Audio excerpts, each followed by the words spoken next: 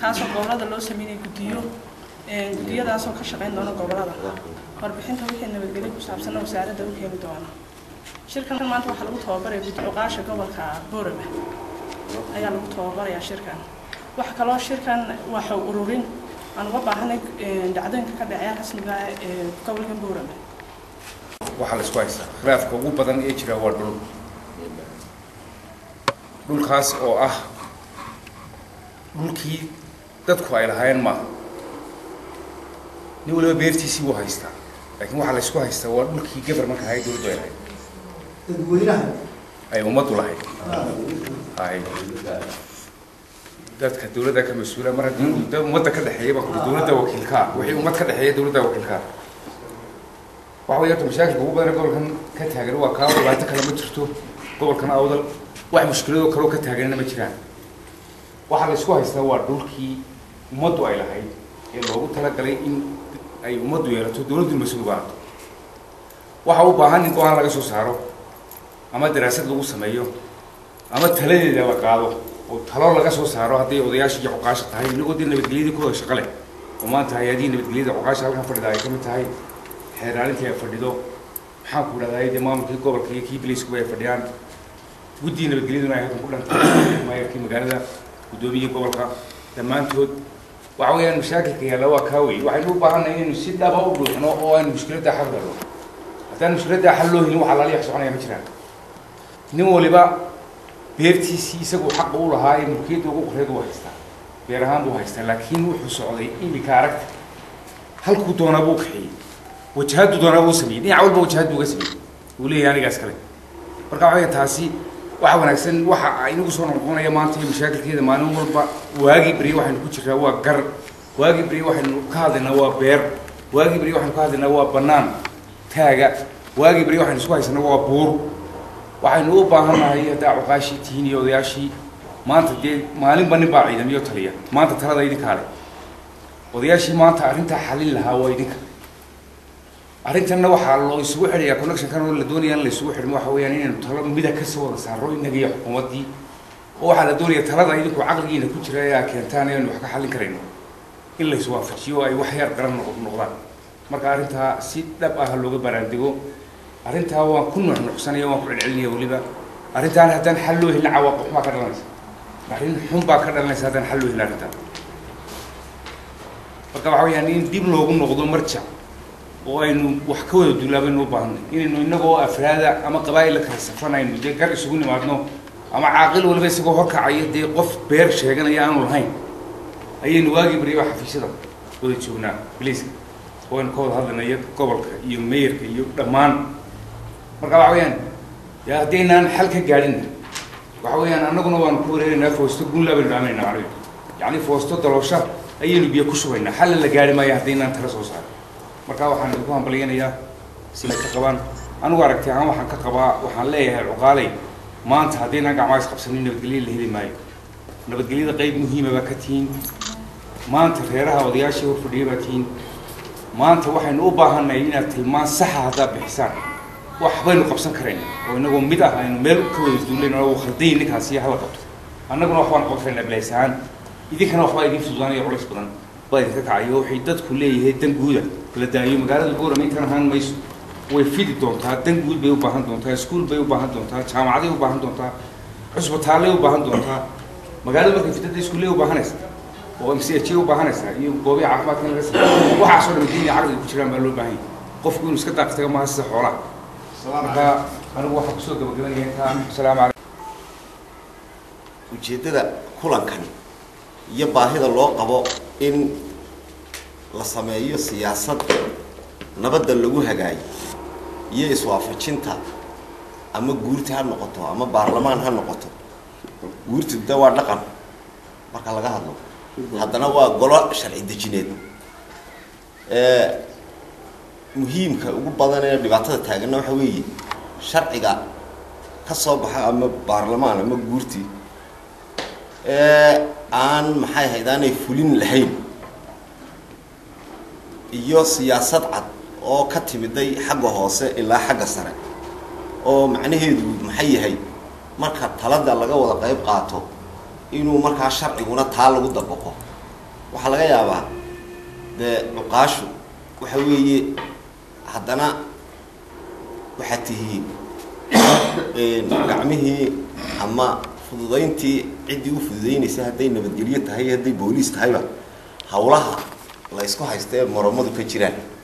Waxaana laga yaabaa inaad qayb ka mida haddana tihiin. Oo dee horta dhulku haddii ama wax la ysku qabsado dee qolooyin iskuma haystaan dhulka. Laba shaksi baa da isku haysta. Qola iskuma haysata dee iyaynay naga noqonin inay qolooyin laga dhigay laba qofuun oo isku haysto daha laga dhigo.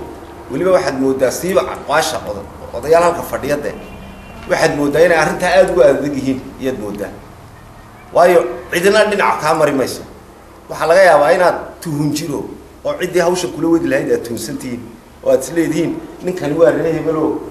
Maxay hadaanay de ree hebel unba kaaga exanaya meeyarku waa reerkaasoo waa sidaa ama badhasaabku waa saasoo ilahay anaga de wuxuu nagu ogyahay wuxuu doono qofku isagu ha iska haysto.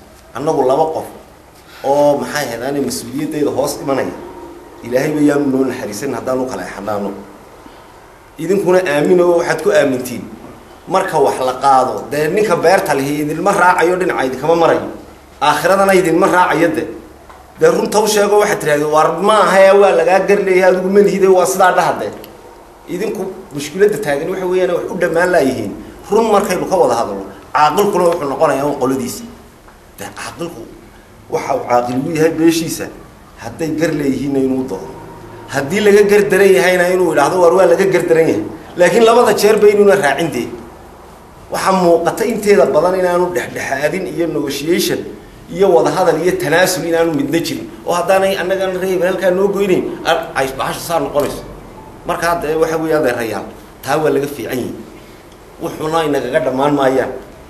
Waxaa laga yaabaa dhulka sida aad ugu dacweysiin iyo beeraha nimanka beeralaydii toban tobanka kuna dollar ay siisanayaan jagooyinka caaqilla inuu meelu galalayaha oo kira kadeeday bal caaqilka la siinayo balood ninka ugu dacweeyay beertiisa ka siinaya ha sheego oo idhaahdo aniga nin ninkaasa wax iga siinay wallahi inaanu idinka siinayn maadaama ayna idinka siinayn ilaahayna wuu inagu eeganaya wuxuu inoogu eeganayaa kii miskiinkii iyo meel deganaa kii curyaankii dee dhulkan waa dhulkii ilaahay ugu talagalay dadkan masaakiinta ah ina in la munaafacadsado ilaahay dhulka dee u abuuray ina in maxay adaan xooluhu cunaanba munaafacadsadaanba u abuuray in yacna mulkiga bini aadamku inuu sidii loogu talagalay inay u mulkiyaan uu ilaahay ugu talagalay.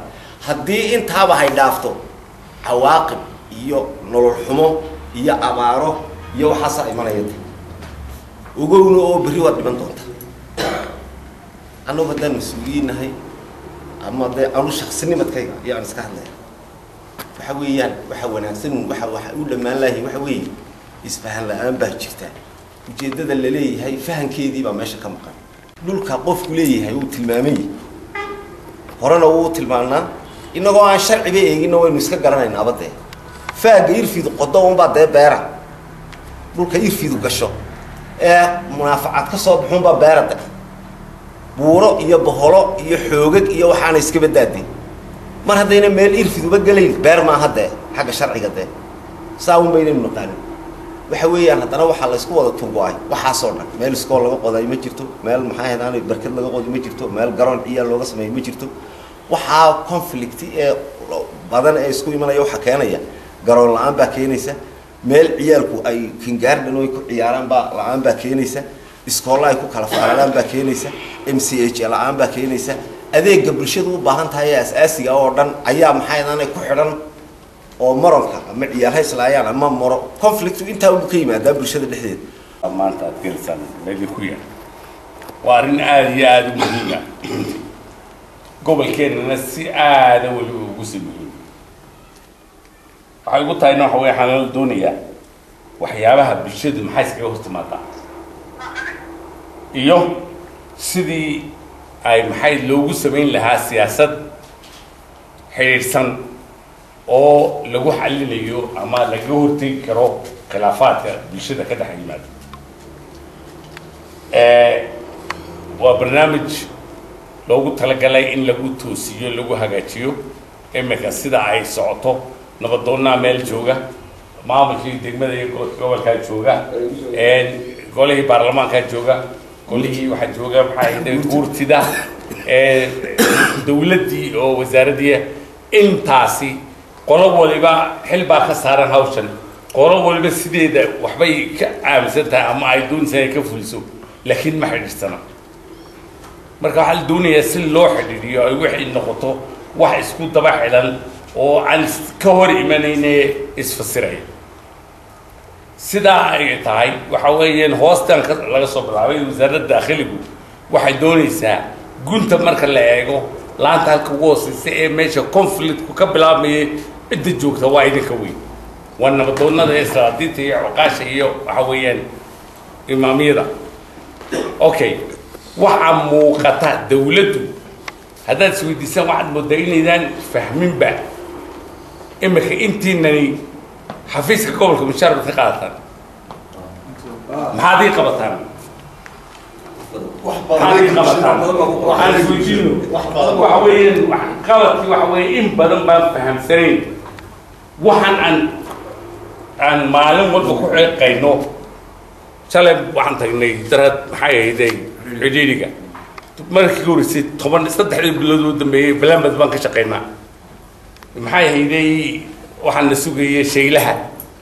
Waxaa halkan ka jira maxay tan. Waxaati hawlaha aada mushaharka ku qaadataan waxa weeyaan inaad kuwa xalishaan inaad noo fudaysad xalishaan oo idinkoo xalkii wada intood si daacada uga wada qayb gasheen oo aada su istusteen oo aada wada hadashiiseen oo idinkaa ilan jooga oo goobtii joogay oo walba u ogyahay ninka kale reer galbeed si aad sheegtaan. Aad tiraahdaan halkaasi dadkii saasaan u geyno idinku naga horeysaan mabay maxaan haynaa? Budkii baad idinku sidataan labadii nabadoonoo mid walba budkiisii wato uu leeyahay halkaasoo lagu gooye mooyaane socon mayso ayaa noo yimaada. Runtii waxa weeyaan waxyaabaha aan su'aasha iska weydiinayna waxa weeye intee u shaqaysa maxay ahaday maamulkii dawladda koogeed intee aan u shaqayn? Ninkaan u shaqayn ee aan nabadda ka shaqaynin mushaarka un ka jujinaya. Runtii waan idin sheegaya cid kastaa ku soo sexdo mushahar waxaad irmaysid nabadoonka aan ka shaqayn wixii nabadoon loo yidhi ee laga shaqeeyey een aragnay inuu kolba afar qof budka la situu leeyahay kaalay halkan maanta soo jebiya. Dee waxa weeyaan waa fitna waa wey ma aha wax maxay hayday wixii loo baahnaa nabadoonnimadii maaha inaad isweydiisaan su'aal isweydiisaan maxaad u shaqaysaa?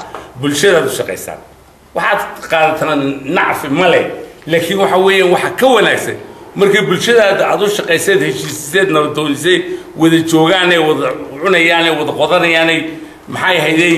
Meerarki sidii maxay hayday? Guuskii laysku bixi jiray hawdhikii wada tumanayaanay beerti mar wada qodanayaanay wada nool yihiin. Daas waxay waxyaabaha inayn inayn macna idiin samaysaa. Taas macna idiin samayso. Yayna macna idiin samayn.